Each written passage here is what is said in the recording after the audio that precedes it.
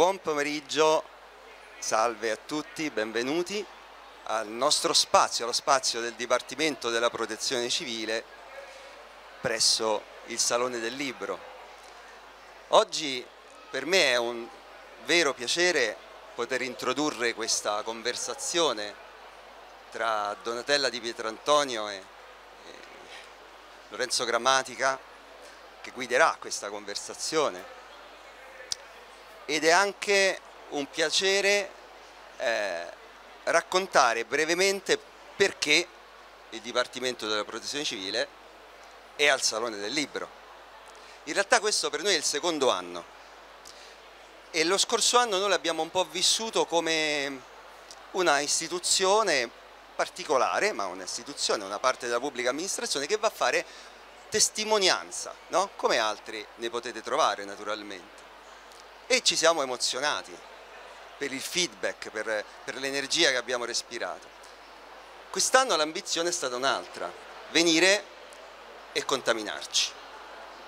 Eh? Non solo testimoniare quello che facciamo, cosa siamo, ma andare a provare a, a interloquire col mondo che, che, circola qui, che poi il mondo della letteratura, è come dire il mondo, perché se, se la, togliamo la letteratura cancelliamo il mondo nel momento in cui l'ultima persona che può ricordare qualcosa sparirà e prima o poi succederà. E, e quindi in questo tentativo abbiamo chiesto innanzitutto aiuto a qualcuno che lo sapesse fare, abbiamo chiamato Lusi, eh, di cui Lorenzo qui è, il direttore, vice direttore? No, responsabile, responsabile editoriale. editoriale. Stavo dicendo direttore editoriale, responsabile editoriale, oltre che autore. E abbiamo pensato anche un'altra cosa, vabbè andiamo al Salone del Libro, ma andiamoci con dei libri anche.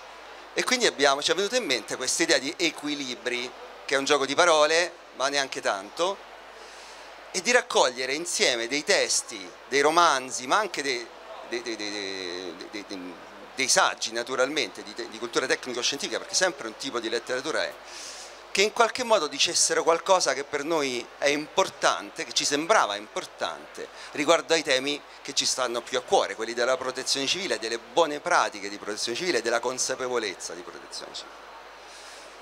Beh, tra questi libri eh,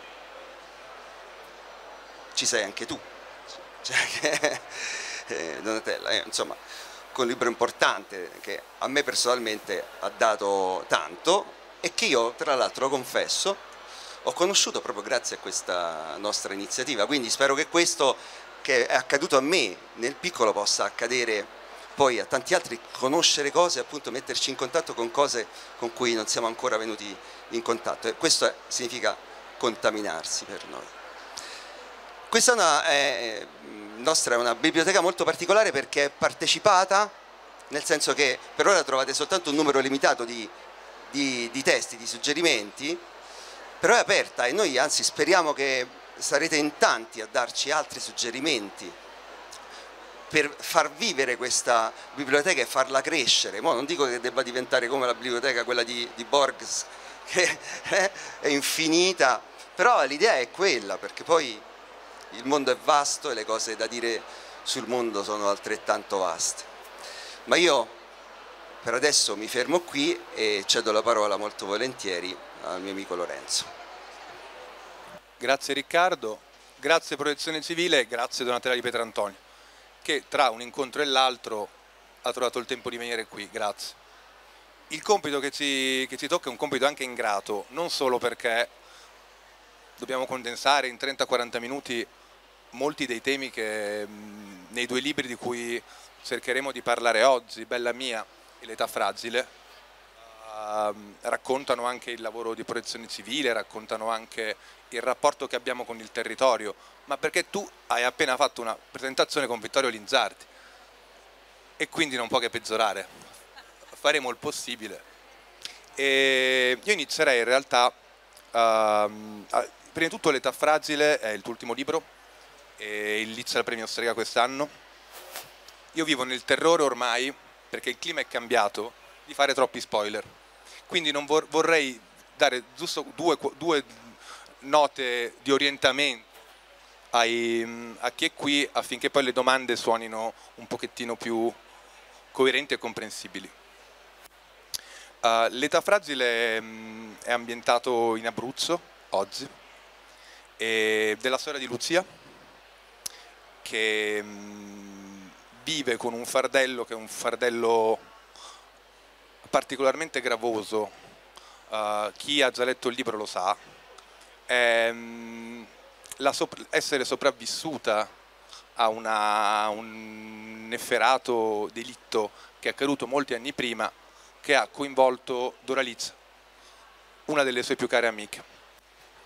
Uh, poi parleremo anche di questo, del, di, del, ruolo del sopravvissuto, della condizione di chi sopravvive a una tragedia. E la rielaborazione uh, pratica, in qualche modo, di, di, quello che è accaduto molti anni prima, uh, viene fatta anche attraverso il rapporto che Lucia ha con sua figlia Amanda, che dopo essere andata a studiare a Milano a seguito di, una, di un trauma, torna a casa ed è irriconoscibile. Non irriconoscibile come lo sono spesso gli adolescenti per i genitori, c'è sempre una forma di inconoscibilità, credo, ma è riconoscibile perché è evidente che quello che è accaduto a Milano è un rimosso non verbalizzato, non affrontato emotivamente e dialetticamente. Insieme ad Amanda, Lucia e al padre di Lucia, ehm, che, era, che, è un personaggio straordinario nei suoi silenzi, nella sua assertività, nella sua, nella sua mh, decisione. Uh, molto diversa dalla figlia, ancora legato al mondo contadino, da cui Lucia in parte si è, si è, affrancata, da cui Amanda ovviamente per un salto generazionale si è affrancata ancora di più, solo apparentemente, Lucia troverà il modo di rimettere in prospettiva quello che le è accaduto e riguardare a quello che è accaduto, quello che è accaduto molti anni prima. Io vorrei partire dal titolo dell'età fragile. Il titolo dell'età fragile, perché? Perché la prima cosa a cui ho pensato è a Simone de Beauvoir, a uno dei suoi memoir, L'età forte. Simone de Beauvoir è stata una straordinaria scrittrice anche di memoir, perché è un genere che lei ha padroneggiato con una grazia e intelligenza rare. L'età forte a cui si riferisce Simone de Beauvoir è, è l'età dell'emancipazione uh, sentimentale, culturale, è l'età dei viaggi, delle scoperte intellettuali e non è, della, è un'età adulta, è la stessa età di Lucia. Quindi, avendo come riferimento Simone De Beauvoir, ho pensato, beh, l'età fragile a cui si riferisce è soprattutto l'età di Amanda inizialmente, una ragazza di 20 anni che si ritrova per la prima volta esposta al mondo e alle sue asperità, alle difficoltà che la crescita comporta. Poi ho pensato in realtà che le fragilità che vive Amanda sono le stesse fragilità che vive la madre, Lucia, a distanza di anni. Quindi l'età adulta qui è un'età fragile, Grazie, buongiorno. Um, sì, eh, tutti i personaggi alla fine rivendicano per sé e per la propria fase di vita questa, questa definizione di, di fragilità. All'inizio è più evidente, come dicevi, per Amanda, che è una ragazza partita per Milano con tutto il suo bagaglio di di sogni che secondo lei si potevano realizzare soltanto lì, più grande possibile, più lontana possibile da casa. E, ehm, e però torna indietro così come l'hai, descritta, interrotta, spenta, silenziosa, si chiude in, in camera.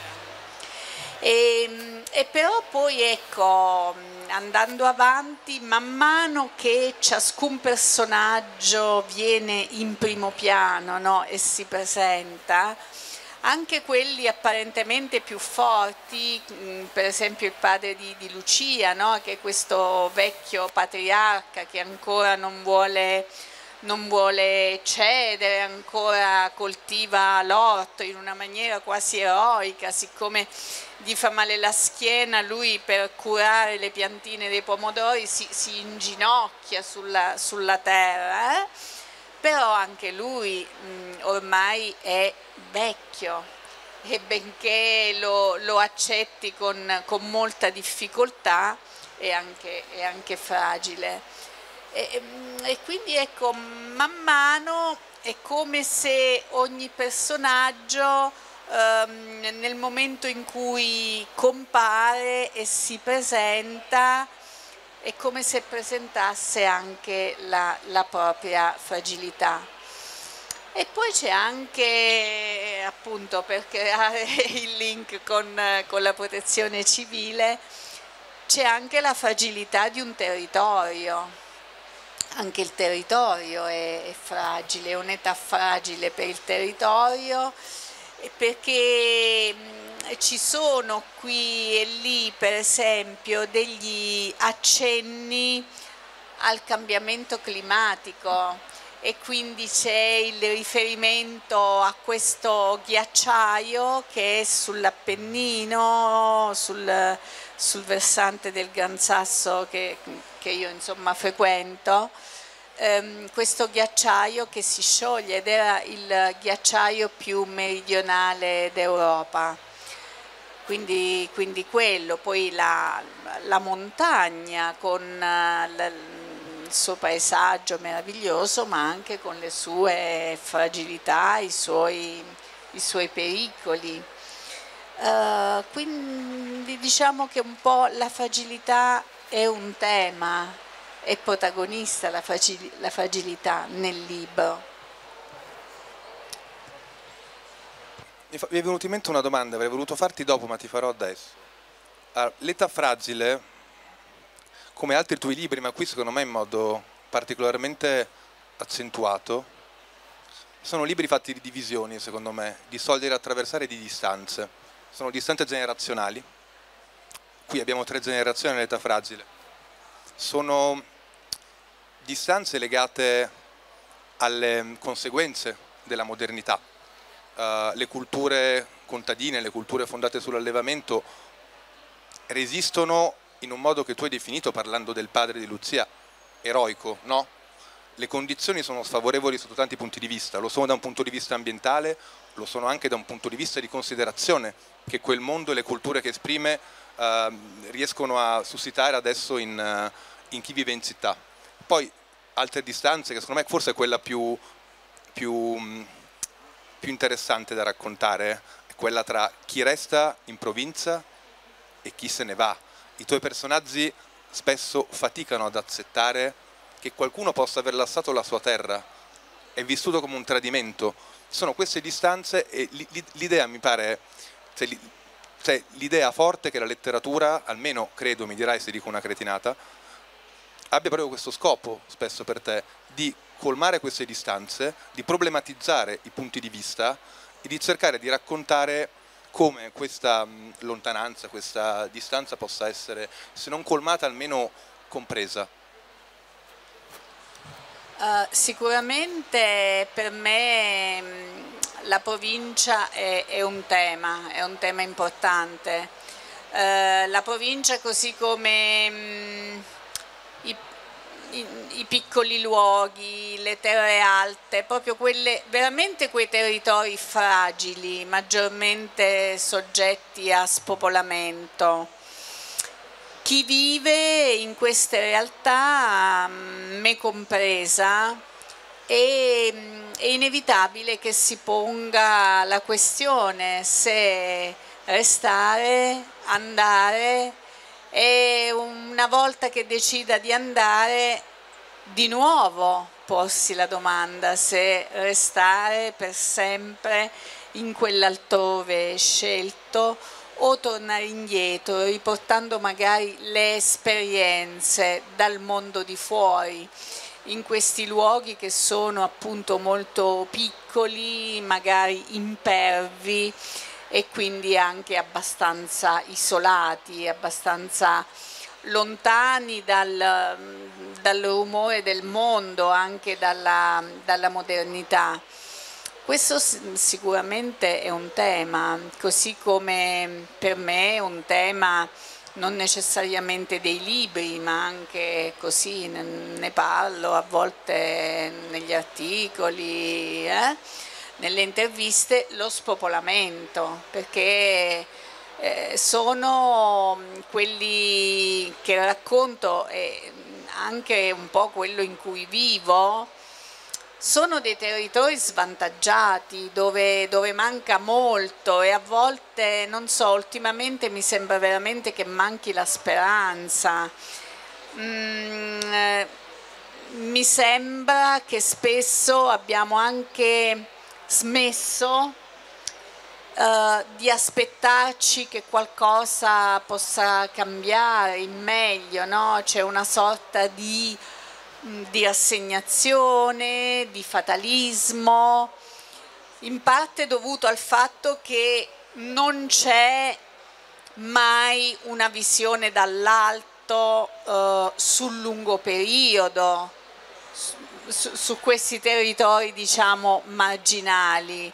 Cioè la, la, politica fa finta ma poi non è veramente interessata a risolvere eh, i problemi della montagna o insomma di tutto mm, di tutta quella fascia insomma, della dorsale appenninica ma poi anche sopra le valli alpine eccetera non mi sembra un interesse reale, no? sono quelle cose che si dicono in campagna elettorale, che si dicono sotto, sotto elezioni però ecco questi territori mh, richiederebbero un investimento appunto sul lungo periodo e quando parlo di investimento non parlo solo di soldi, parlo di, di un investimento progettuale, proprio di visione, che cosa vogliamo farne?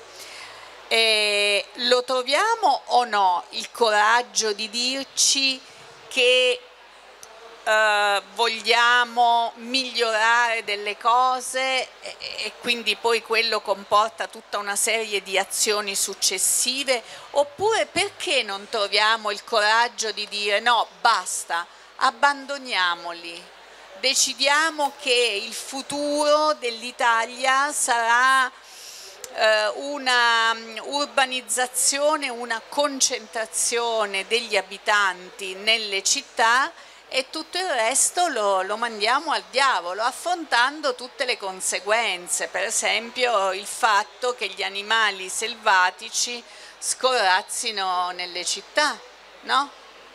i cinghiali che, che, passeggiano per Roma, ecco, mm, scusa sono andata un po' fuori tema, però mi, mi no. riallaccio alla Ehm, secondo me c'è proprio una mancanza di um, responsabilità sia nel non fare che nel decidere proprio, cioè ce lo dobbiamo dire, ce lo dobbiamo confessare che futuro immaginiamo per... Um, per i territori così un po', un po sperduti. La vita immaginaria. Tema di quest'anno. È appunto la vita immaginaria dell'Italia tra, grazie, tra vent'anni. Dove vivranno gli italiani tra vent'anni? Ci sarà veramente uno, uno svuotamento? Che cosa ne abbiamo fatto, per esempio? um, di, di, di, tutta quella, um, quell'ondata controcorrente che c'è stata durante il lockdown. Forse non, non l'abbiamo capitalizzata. Oggi sono venute delle persone al firmacopie e mi hanno detto durante il lockdown siamo stati sempre in Abruzzo, ce ne siamo venuti a vivere in Abruzzo e dopo, e dopo ce ne siamo andati. Allora, mi sembra che tu abbia già un romanzo distopico in cui tutte le persone che stanno in Abruzzo nelle... vanno a vivere in città e scoprono che la città alla fine non è questo granché. Ma io vorrei coinvolgere anche Riccardo su, su una cosa. Allora, quando parli dei cinghiali, degli animali selvatici che si fanno sempre più vicini alla città, c'è come un, un doppio scarto, un movimento. Più la città, più eh, la città intesa come punto più alto, ma lo dico anche criticamente, della modernità per come la intendiamo, si allontana dalla campagna del territorio, tanto più la natura si avvicina, perché quella distanza, quella cesura è innaturale. Vorrei sapere da entrambi, uh, con le competenze diverse che avete, quanto secondo voi territorio e città in questo momento, anche nel racconto che se ne fa, sono distanti, lontani e inconoscibili l'una all'altra, perché secondo me questa cosa era, imp era, impensabile 50 anni fa, per il tipo di modernità che ha avuto l'Italia, cioè molto, molto disomogenea e molto veloce, troppo forse veloce in certi, in certi momenti del secondo Novecento. Non, non so cosa ne pensi Donatella, ma da un punto di vista di protezione civile, poi io non, ci metto, ti, ti, spiego, io non sono un tecnico, quindi poi qui c'è chi può parlarne meglio di me, ma dal punto di vista, per esempio, io mi occupo di comunicazione e di quello che troviamo rispetto a questo rapporto, no?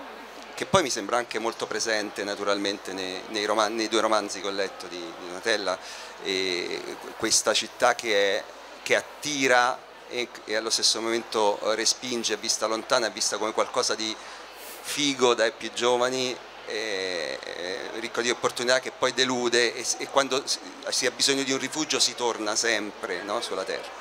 Però detto questo, in realtà mica è tanto vero quello che stavi dicendo, nel senso che questa, questa distanza dal proprio territorio noi la riscontriamo in tut, ah, forse in città di più, nel senso, nel senso, che si conosce pochissimo di quello, di, di quello, che succede nel proprio territorio cittadino e spesso non si ha neanche la consapevolezza che sotto le proprie scarpe non c'è terra ma sotto c'è acqua no? e poi dopo ci, ci, eh, restiamo sorpresi perché l'acqua a un certo punto viene su no?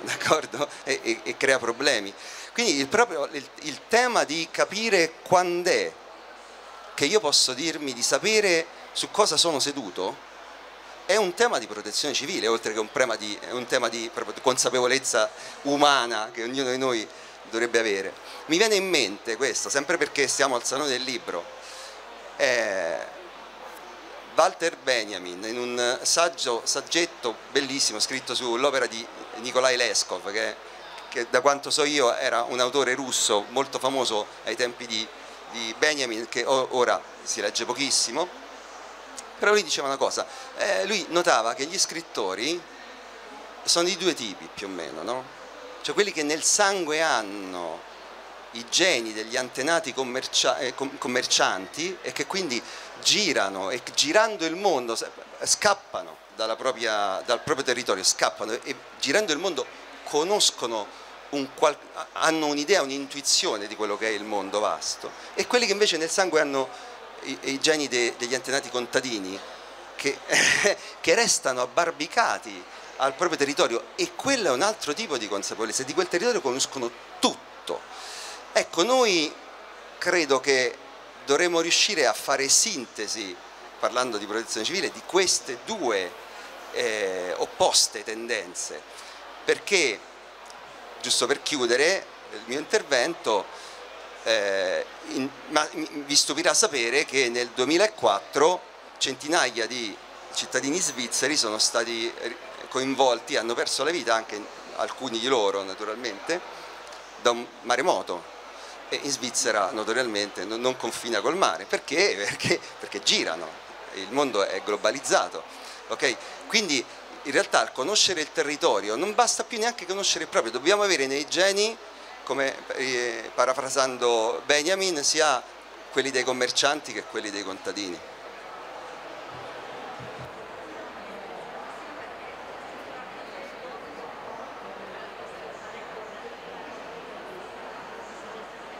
L'ho spento.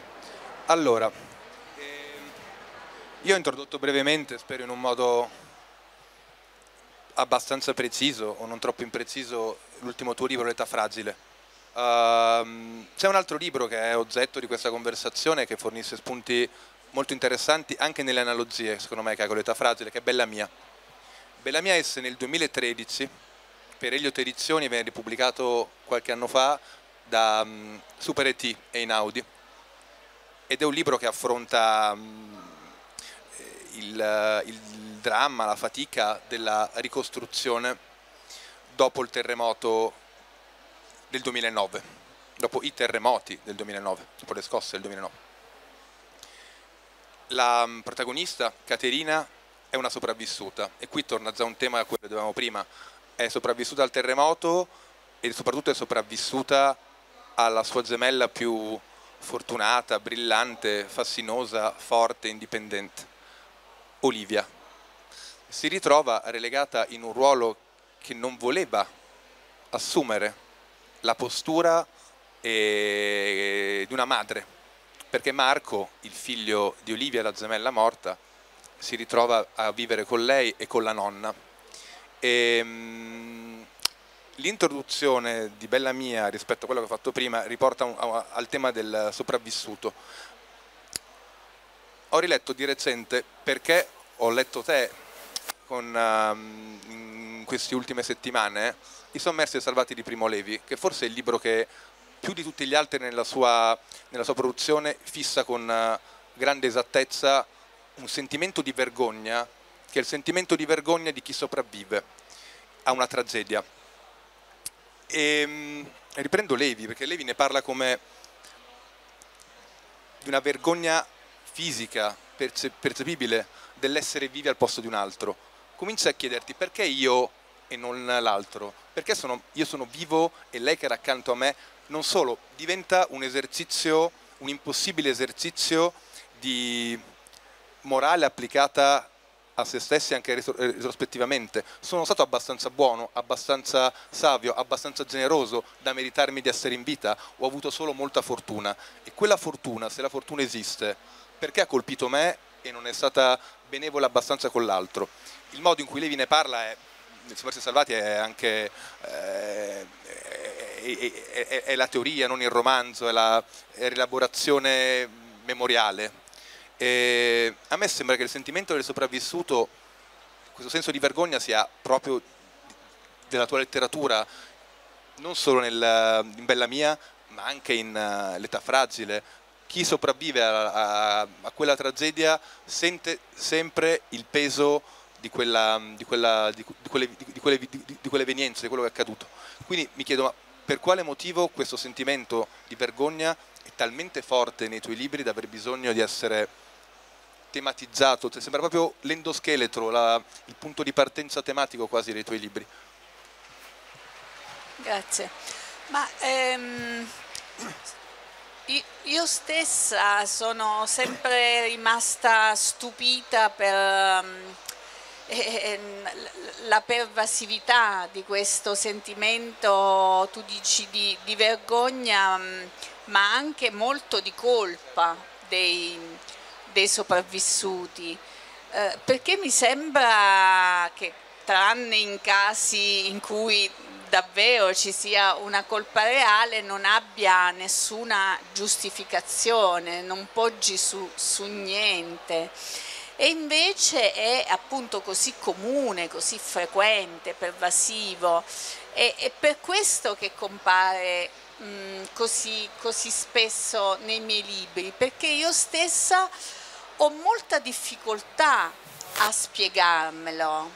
Lo trovo davvero ingiustificato anche appunto in questo mh, ultimo romanzo, no? nell'età fragile, eh, c'è la, la, la, voce narrante che ci racconta tutta la storia, che è Lucia, che si sente appunto in colpa a tal punto da non riuscire dopo questa, mm, questo trauma che tocca alla sua amica che so, sopravvive veramente mm, per, per poco a questa aggressione in cui altre due ragazze invece eh, eh, muoiono, ecco Lucia si sente talmente in colpa nei confronti dell'amica che non riesce nemmeno ad andare da lei, ad andare a trovarla né in ospedale né poi ehm, a casa, non riesce ad avvicinarla, non riesce ad affrontare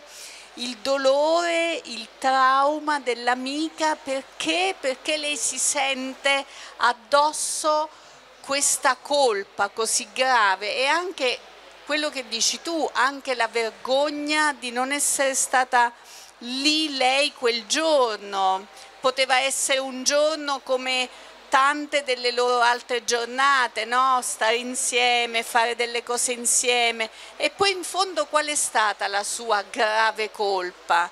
Quel giorno lei se n'è andata al mare, invece di andare con loro in montagna, lei se n'è andata al mare. Non ha invitato l'amica, non ha invitato Doralice perché sostanzialmente temeva che le avrebbe fatto fare brutta figura con le amiche del mare e quindi in quel momento lei si sta caricando sulle spalle, sulle sue spalle di ragazza, la responsabilità di Doralice che invece si è trovata sul luogo della tragedia mentre lei era da, da un'altra parte. È una colpa davvero inconsistente. Non, non c'è, non esiste, lei non l'ha voluto, non l'ha fatto apposta, eppure è, è così forte. E penso che sia proprio umano, perché? Perché accade sempre, non riusciamo ad accettare che il caso abbia salvato noi e non l'altro, abbia preferito noi e non l'altro. Dopodiché siamo anche pronti a fare tutto il contrario, cioè a dire perché proprio a me. Ma c'è anche un senso di vertigine, secondo me, che deriva dal fatto di essere mm, di dover cercare di ritualizzare, tematizzare qualcosa che ha molto a che fare con il sacro, un altro rimosso, cioè il caso, comunque tu lo chiami, è qualcosa che ti dà le vertigini per quanto è impossibile da tematizzare, no? Cioè il mondo, un, un, il mondo contadino e la modernità uh, o presunta tale reagiscono a questa cosa in modo molto diverso, l'accettazione è molto diversa secondo me, c'è anche un'altra, mm, un'altra cesura, un altro elemento di distanza che è difficile rappianare se non attraverso l'irrimuginio, il senso di colpa, il, la, mm, il sentimento di vergogna dell'essere vivi, l'impossibilità di darsi una spiegazione. Sì, dopodiché appunto i modi sono, mm, sono tanti per, per, risolverla, no? c'è la superstizione, c'è il destino, doveva andare così, eccetera, eccetera e per esempio per quanto mi riguarda io che non, che non, credo a niente di tutto questo mi arrovello tantissimo sul caso anche nell'età fragile a un certo punto attraverso la voce di Lucia eh, io dico una cosa che mi dico anche a me stessa per, mh, per eventi molto più piccoli e banali cioè è possibile che non ci sia la reversibilità, la possibilità di tornare indietro. Quindi io gli dico possibile che queste ragazze non possano tornare alla mattina, all'ultima mattina della loro vacanza e invece di camminare verso la loro morte, verso il loro assassino, non possano tornare indietro nella tenda e decidere che invece l'ultimo giorno se lo vogliono passare così a dormire nella tenda. Quindi c'è veramente una grossa difficoltà ad accettare mm, la cecità del caso e soprattutto ad accettare che le cose della nostra vita non siano sotto il nostro controllo e questo penso soprattutto che ci inquieta questa impossibilità a controllare tutti gli aspetti della nostra vita. Donatella, io ho un'ultima domanda, ma prima di quest'ultima domanda, l'ultima, vorrei farti leggere un pezzetto che la introduce.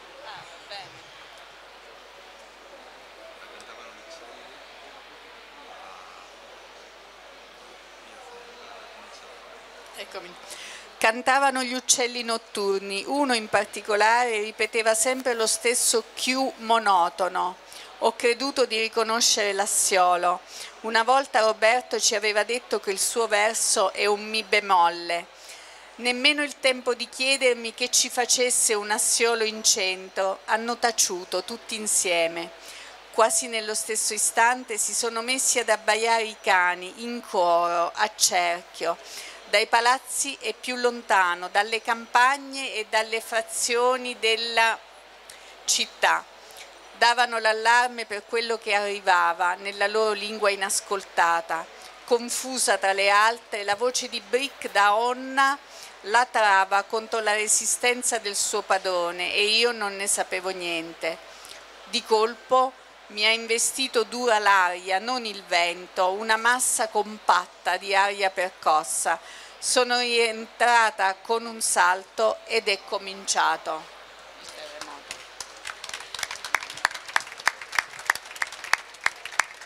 Questo è un passaggio di Bella Mia, sono le 3.26 del 6 eh, aprile 2009, terremoto all'Aquila.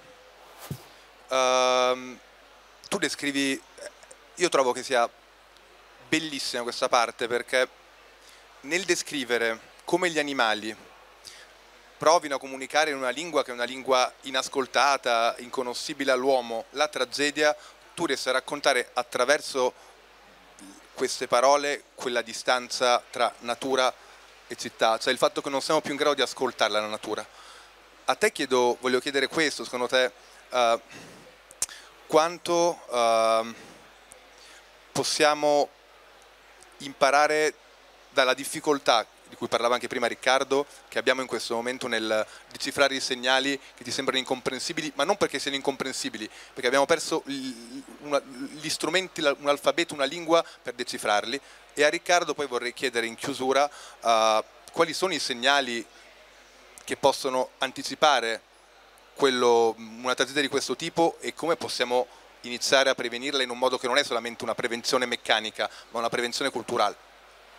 Allora io rispondo e scappo alla stazione.